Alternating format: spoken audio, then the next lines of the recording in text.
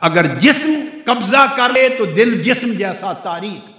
اگر روح قبضہ کر لے تو جسم روح جیسا تو اس لیے کئی لوگوں کے دل ناسوتی ہوتے ہیں، کئی لوگوں کے دل انسانی ہوتے ہیں، کئی لوگوں کے دل حیوانی ہوتے ہیں، کئی لوگوں کے دل شیطانی ہوتے ہیں۔